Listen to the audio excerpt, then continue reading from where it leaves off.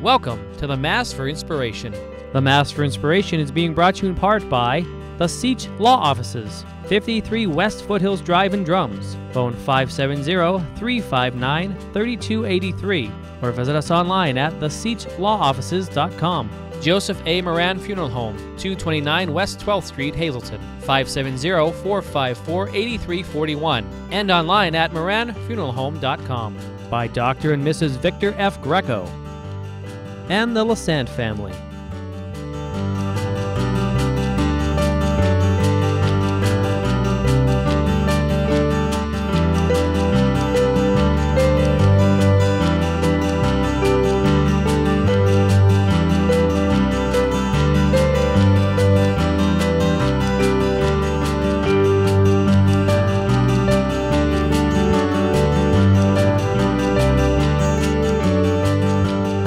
Save us, O Lord our God, and gather us from the nations to give thanks to your holy name.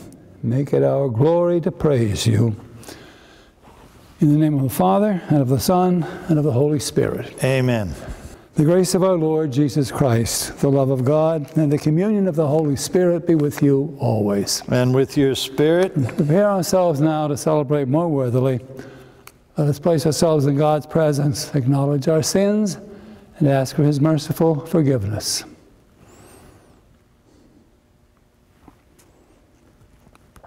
Lord Jesus, you are the light of the world. Lord, have mercy. Lord have mercy. Christ Jesus, you give life to your people. Christ, have mercy. Christ have mercy. Lord Jesus, you are the way that leads to eternal happiness. Lord, have mercy. Lord have mercy. May Almighty God have mercy on us, forgive us our sins, and bring us to everlasting life. Amen. Glory to God, God in the highest, and, on earth, peace to people of good will. We praise you, we bless you, we adore you, we glorify you, we give you thanks for your great glory. Lord God, Heavenly King, O God Almighty Father. Lord Jesus Christ, only begotten Son, Lord God, Lamb of God, Son of the Father, you take away the sins of the world, have mercy on us. You take away the sins of the world, receive our prayer. You are seated at the right hand of the Father, have mercy on us. For you alone are the Holy One, you alone are the Lord, you alone are the Most High, Jesus Christ, with the Holy Spirit, in the glory of God the Father. Amen. Let us pray. Grant us, Lord our God, that we may honor you with all our mind and love everyone in truth of heart through our Lord Jesus Christ, your Son, who lives and reigns with you in the unity of the Holy Spirit, one God forever and ever. Amen. A reading from the book of Deuteronomy.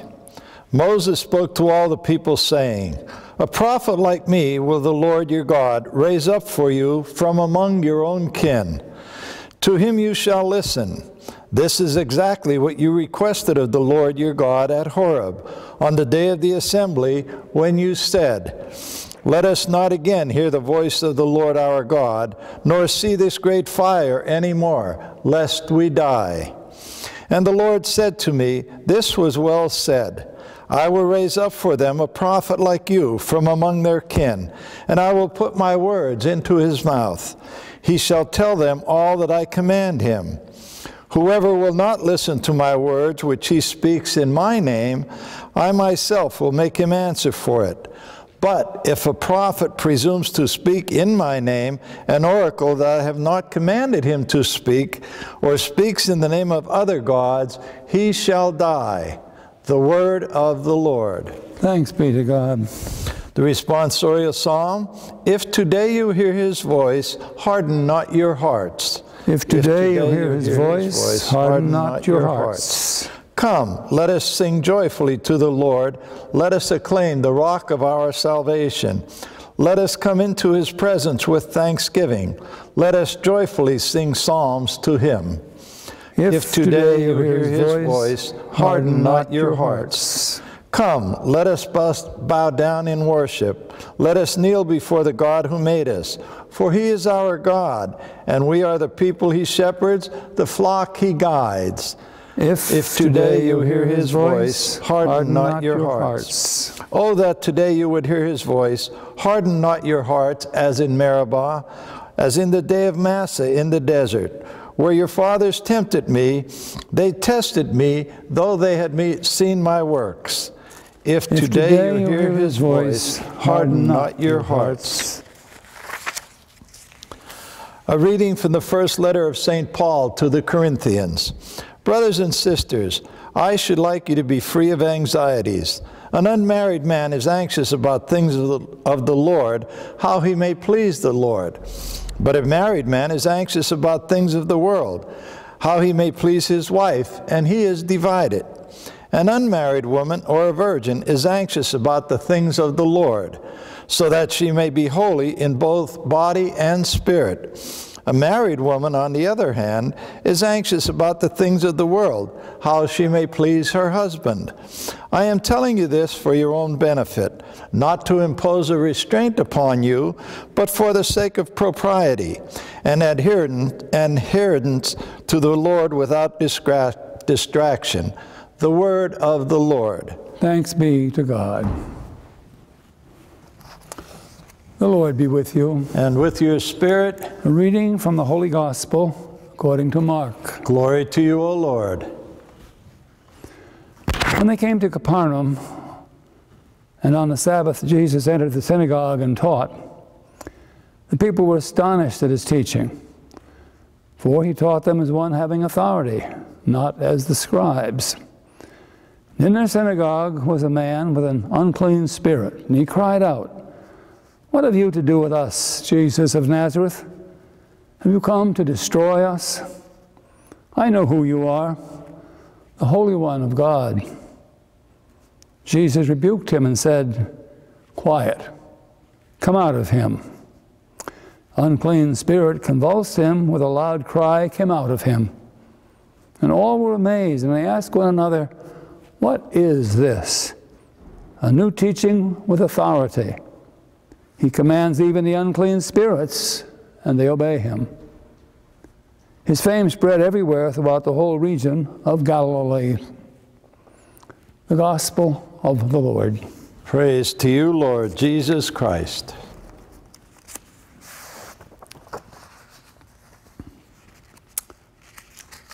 You remember the days when our churches were crowded, when on Sunday mornings, the Lord's Day, neighborhood streets were filled with families going to church. Not so today. Malls, stores, shops, all open for business as usual. People are forced to work. Churches are half filled, if that. And churches are even slowly and perceptibly disappearing. More and more people are claiming they don't need organized religion because they have found God in other ways. They claim to be spiritual, not religious. They found God in their hearts and in nature. Oh, they still believe in God. But the question arises who is this God? Is he a creation of their own minds or a God outside of themselves who has expectations for them? Tragedy is that this way of thinking has a shred of truth in it. Yes, God has implanted in the hearts and souls of man a yearning for himself, an ingrained desire to find him. And God does reflect himself in the beauty and the splendor of the magnificent world around us. But something else, oftentimes ignored and forgotten, is the fact that God has spoken to man directly and through his chosen leaders and prophets and teachers. God has revealed himself to man through sacred scripture, written by men, but inspired by God himself. In our first reading today, we find Moses. He speaks to God's people and describes himself as a prophet of the Lord, raised up from the people to teach the people. And God wants the people to listen to him. All through the history of God's people, we find God choosing men called prophets for whom he speaks directly to his people and through whom he teaches his people. Even though the people have not always heeded the prophets, still, it's the way God himself has spoken directly to them. We follow the Word of God, called the Scriptures, we find that in the fullness of time, God sent His Son, the second person of the Blessed Trinity, into our world and in our human flesh. And Jesus, this God made man, like Moses and the prophets, spoke, taught, and revealed his God, God our Creator, our Father, and the Judge of humankind. It's the same Jesus who called 12 ordinary men to take his place after his passion, death, resurrection, and return to his Father. The same Jesus who empowered, commissioned, and commanded them to go out to the whole world to baptize, to teach men about God our Father, and what God expects of us if we're to be truly His followers, His people, today known as members of the community called the church. The community called the church then really is relevant in our world today. In a world that's lost its understanding of God, a world that increasingly is denying God's divine authority, a world that more and more is rejecting God's plan for humankind, that refuses to conform to God's ways but's insisting on its own freedom to do as it pleases without interference from anything or anyone, even God. It's sad that so many people act like little children who can't wait to grow up so they can be free of the guidance, restrictions, the discipline of loving, caring parents. Only when once grown up do they begin to realize the value of their parents' love and concern. For now, they realize they must face life with its problems and tragedies completely on their own. My brothers and sisters, let us today together pray that, like Peter, when asked by Jesus if he and the other 11 wanted to leave Jesus' company, replied, Lord, to whom can we go? You alone have the words of eternal life. May all who, like children, have come to seek independence from God and His community called the church, come to realize that, like Peter, we're all children of a loving Father, called to live in this community called the church, and allow ourselves to be guided and protected by the true Word of the true God, and not by a self created God who exists only in our misguided minds.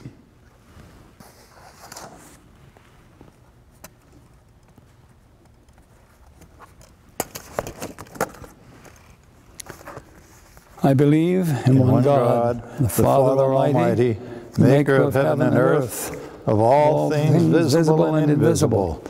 I, I believe in one Lord, Lord Jesus Christ, the only begotten Son of God, born of the Father before all ages, God from God, light from light, true God from true God, begotten, not made, consubstantial with the Father. Through him all things were made. For us men and for our salvation, he came down from heaven and by the Holy Spirit was incarnate of the Virgin Mary and became man.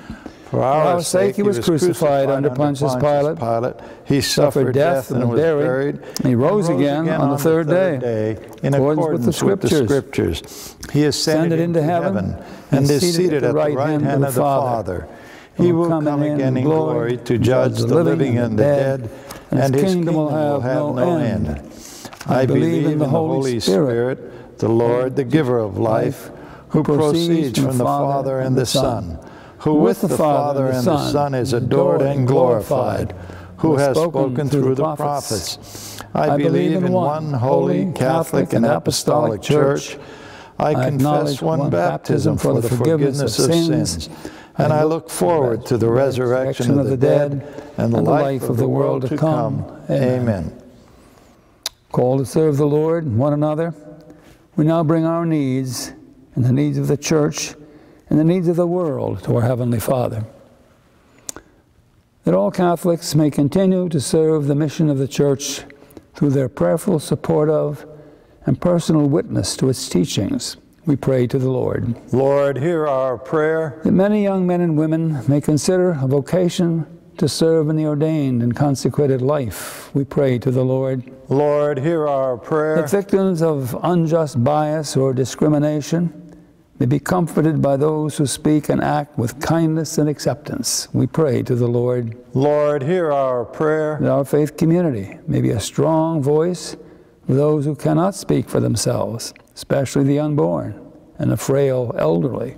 We pray to the Lord. Lord, hear our prayer. That all those who have gone before us, marked with, by faith, may have everlasting life with God in heaven. We pray to the Lord. Lord, hear our prayer. Almighty God, we offer these prayers with humble hearts. Hear us, grant us your blessings. For we pray in the name of our Lord, Jesus Christ. Amen.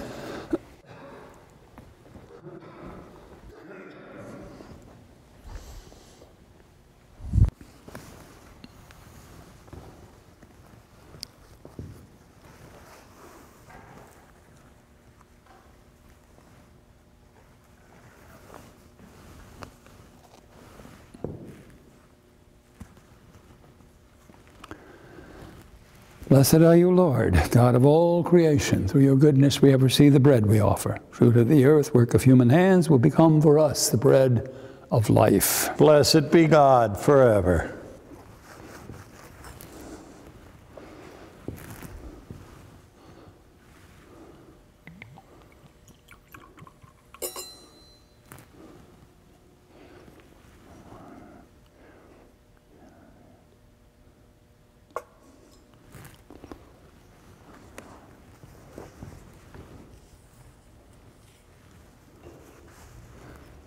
Blessed are you, Lord, God of all creation. Through your goodness we have received the wine we offer.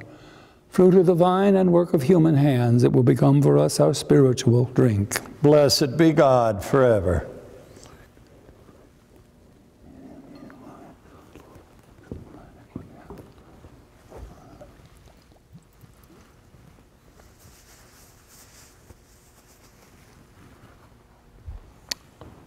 Pray, brethren, my sacrifice and yours may be acceptable to God the Almighty Father.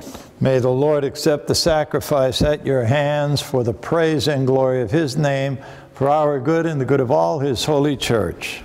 O Lord, we bring to your altar these offerings in our service. Be pleased to receive them, we pray, and transform them into the sacrament of our redemption through Christ our Lord. Amen. The Lord be with you. And with your spirit. Lift up your hearts. We lift them up to the Lord. Let us give thanks to the Lord our God. It is right and just. It is truly right and just, our duty and our salvation. Always and everywhere to give you thanks, Lord, Holy Father, Almighty and eternal God. For just as through your beloved Son, you created the human race, so also through him, with great goodness, you formed it anew. And so it is right that all your creatures serve you, all the redeemed praise you, and all your saints with one heart bless you. Therefore, we too extol you with all the angels, as in joyful celebration we acclaim, Holy, holy, holy, holy Lord, God of hosts. Heaven and earth are full of your glory. Hosanna in the highest. Blessed is he who comes in the name of the Lord. Hosanna in the highest.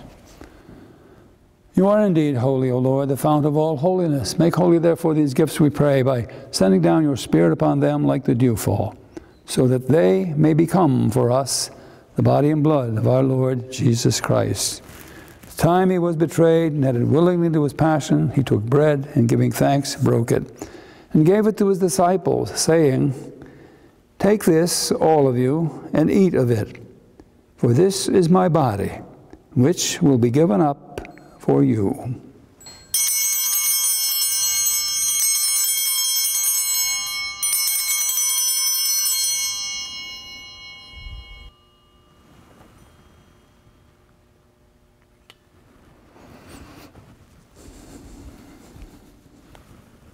In a similar way, when supper was ended, he took the chalice, and once more, giving thanks, he gave it to his disciples, saying, Take this, all of you, and drink from it.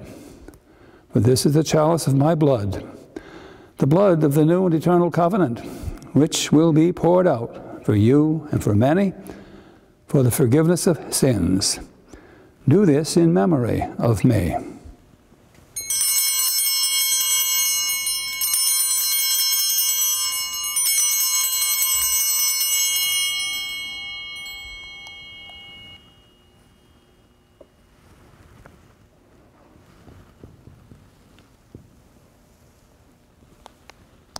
The mystery of faith. When we, when eat, we eat, this, this bread, bread, and, and drink this cup, we proclaim, proclaim your death, O Lord, Lord, until you come, come again. again. Therefore, as we celebrate the memorial of his death and resurrection, we offer you, Lord, the bread of life and the chalice of salvation, giving thanks that you've held us worthy to be in your presence and minister to you. Humbly we pray that partaking of the body and blood of Christ, we may be gathered into one by the Holy Spirit. Remember, Lord, your church spread throughout the world. Bring her to the fullness of charity. Together with Francis, our Pope, Joseph, our Bishop, and all the clergy. Remember also our brothers and sisters who have fallen asleep in the hope of the resurrection, and all who have died in your mercy. Welcome them into the light of your face. Have mercy on us all, we pray that with the Blessed Virgin Mary, Mother of God, with Blessed Joseph, her spouse, with the blessed apostles and all the saints who have pleased you throughout the ages, we may merit to be co-heirs to eternal life and may praise and glorify you through your Son, Jesus Christ. Through him and with him and in him, O God Almighty Father, in the unity of the Holy Spirit, all glory and honor is yours forever and ever. Amen. At the Savior's command, formed by divine teaching, we dare to say, Our Father, Our Father who art, who art in, heaven, in heaven, hallowed be thy name. name.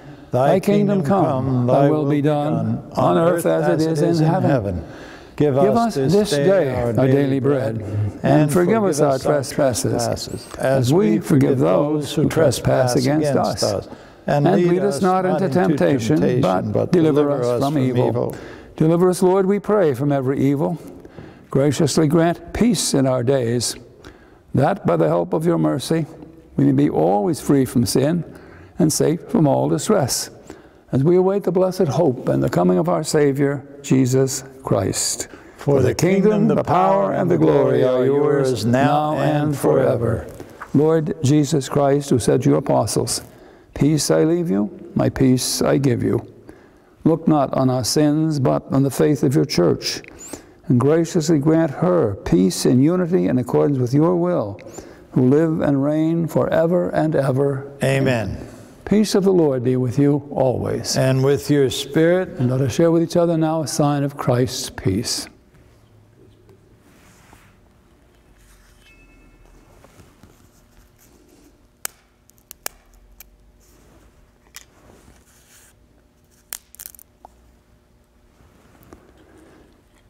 Lamb of God, you, you take, take, away, away the sins, of the world. Have, have mercy, mercy, on us. us. Lamb of God, you take away the sins of the world. Have mercy on us.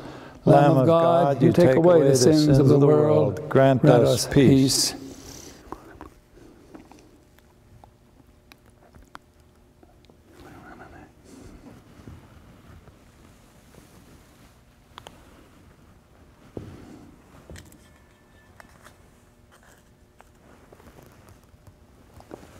Behold, the Lamb of God. Behold, him who takes away the sins of the world.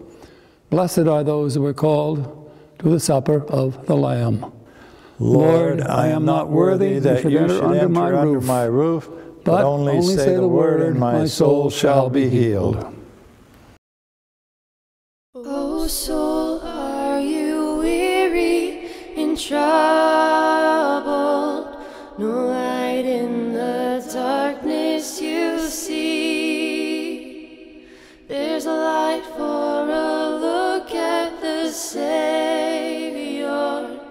And life more abundant and free.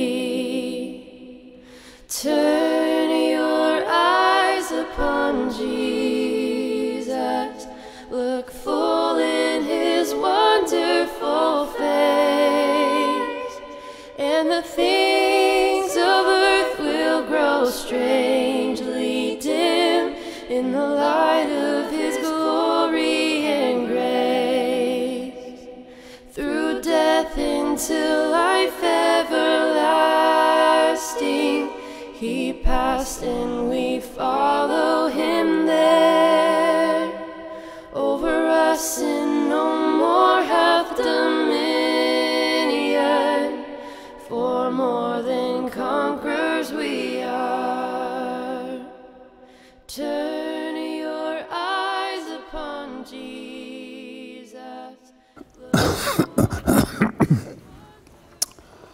Let us pray. Nourished by these redeeming gifts, we pray, O Lord, that through this help to eternal salvation, true faith may ever increase through Christ our Lord. Amen. The Lord be with you, And with your spirit, and may Almighty God bless you, the Father, the Son, and the Holy Spirit. amen. Go now in peace, glorify the Lord by your lives. Thanks be to God.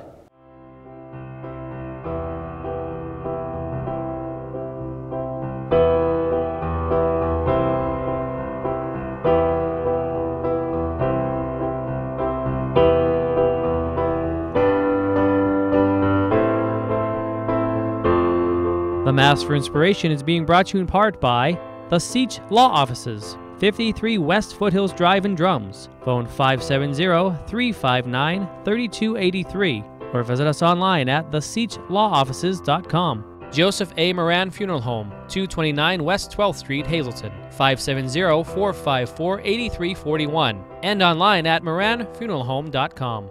By Dr. and Mrs. Victor F. Greco and the Lassant family,